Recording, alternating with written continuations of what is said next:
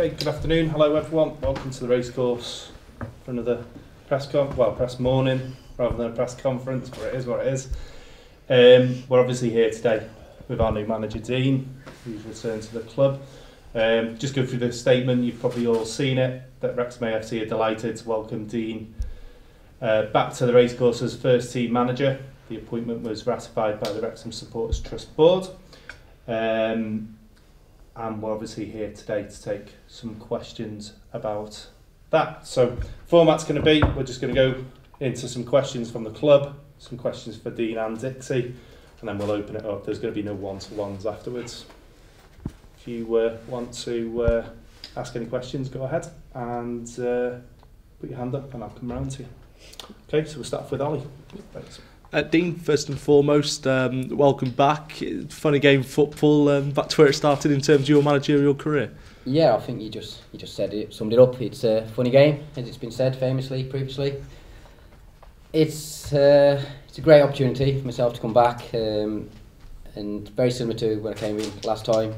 We need to get the club back uh, back on the front foot and going forward, and get us um, going back up the league. For you, what um, what was the draw for you to return to this football club? For me, I know what the club's about, and there's a lot been said from when I left previously.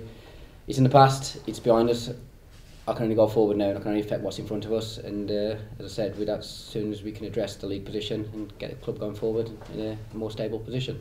Yeah, the club's in a similar sort of position as your first tenure here, really, isn't it? And underperforming in the league at the moment, and been brought in as the man to uh, to lift that side. Yeah, as you said, um, excuse me, when I came in previously, very similar. As I said, it's now what's happened in the past is in the past. Um, we've got to, we've got to build on what's what's in place now and um, fill the lads full of confidence, get the lads motivated, and get them out on the pitch doing doing well for the football club. Dixie, obviously you headed the operation to employ a new manager. Without going into the nitty gritty of it, of course, would you like to talk us a bit through the how the decision was made, please? Um, well, obviously we had uh, probably 20 plus people apply for the vacancy. Uh, we narrowed that down to five people, uh, all of which were interviewed.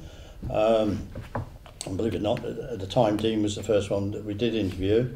Um, and as I said, we, we spoke about it, for obvious reasons, spoke to other people besides that were there.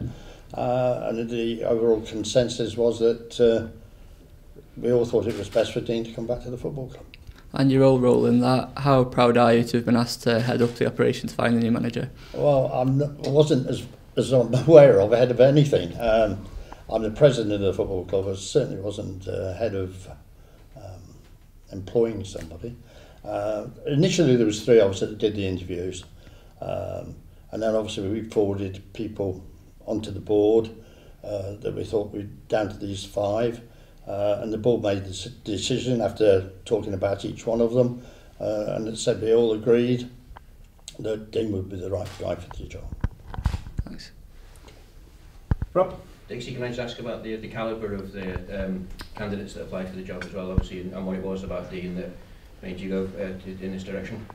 Um, obviously, looking at obviously where the other people were, what their situation was as regard leaving the clubs that were at. Obviously, some of them, are, dare I say, as Dean would know, are assistant managers at other clubs, etc., etc. Um, but as I said, we just looked at uh, what the players had done. We know Dean, obviously, from before. I think one of the great things that he said when he first sat down was, and I have to say, uh, I wasn't akin to this, that he didn't really walk out on the football club the last time he was here. He turned down Walsall three times uh, in that period. He said he didn't want to go, uh, but in the end, I think he was probably pestered too much. Uh, and it, with it being a home, his hometown, I think he found it difficult to say no to them. Uh, he probably learned from his mistake by applying for the job back here again. so, I, like anything else, uh, uh, these things happen. But uh, as I said, he did a good job when he was here before, uh, and we hope he carries, carries that on in the future.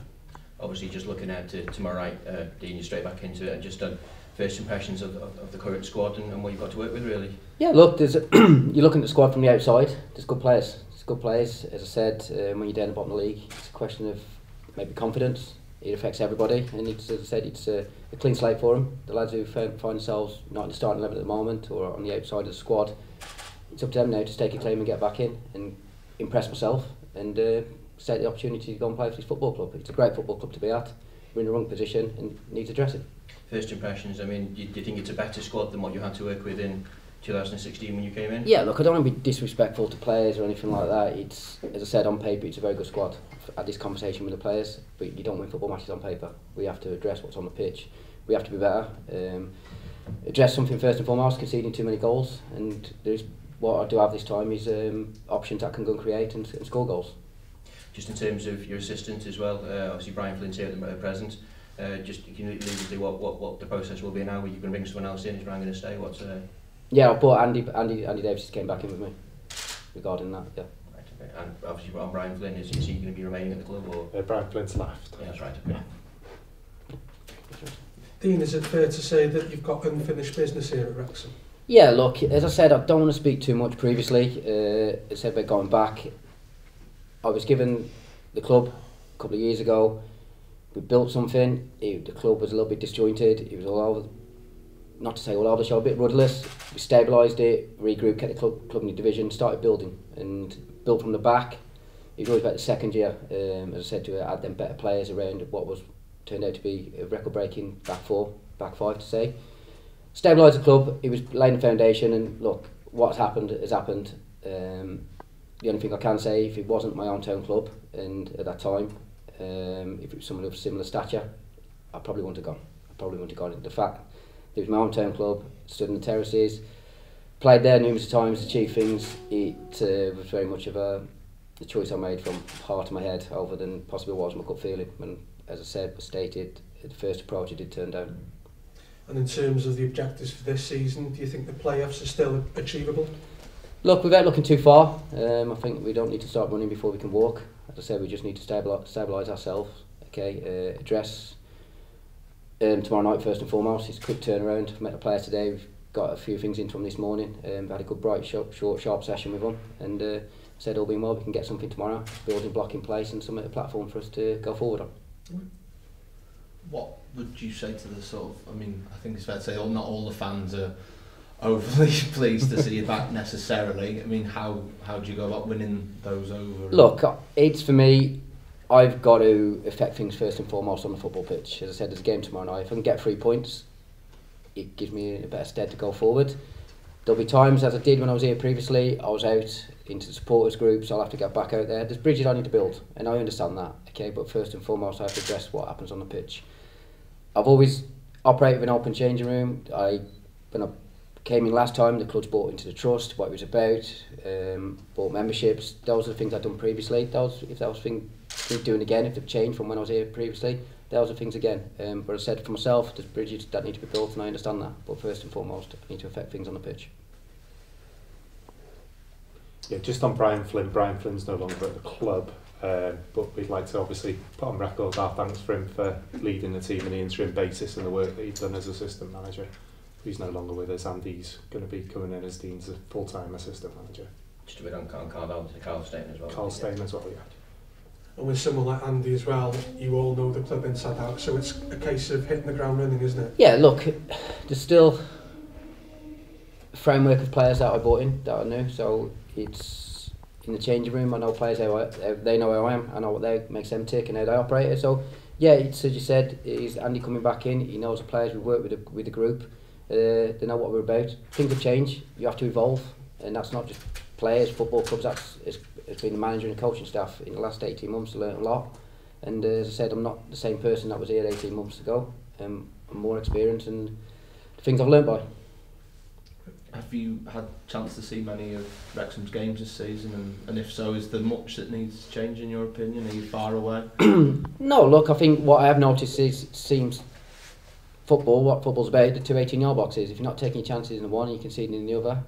The patterns of play in between, from 18 to 18, I wouldn't say they've been too far off. People speak about, not just myself, but other managers or staff you'll hear talk about fine margins in football. And football's down to that game. Individual errors, you struggle to affect those. But if there's mistakes through the patterns and people not being in the right slots, that's where you can address things.